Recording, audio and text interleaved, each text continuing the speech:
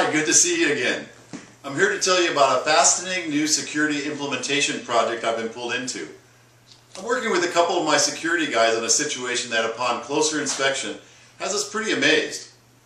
This agency, and no I'm not going to tell you who they are, found themselves the victims of a hacker that used an instant message to begin their attack. Sound a little bit Googlish? Yeah, it does. An instant message was sent to an agency employee who was working on a project overseas.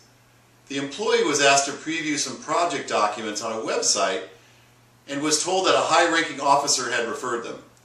The instant message included a link to a website that housed the documents.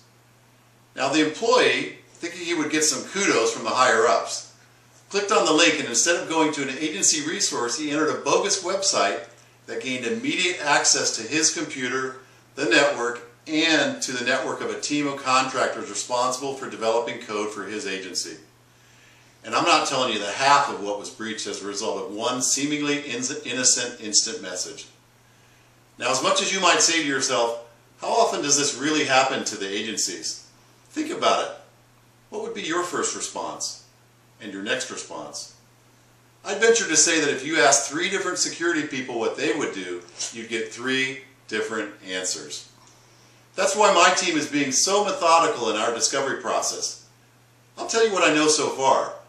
We need to find a solution that can improve email and web security, as well as detect and defend multifaceted threats from the infrastructure. We need to apply security policy throughout all the digital assets that float in the cloud. And all the while, we need to maintain a solution based on an open platform. Oh, and by the way, how many agencies actually factor this kind of fix into their budget? So the real catch is to find multiple products that can be integrated and that use existing network resources. I'm sure I'll have more to share when we start mapping out our plans to product, but in the meantime, feel free to post your suggestions on the community. The more insight, the better. I'm out of time for now, but as always, it's great sharing the daily grind with you, and I look forward to hearing from you in the community.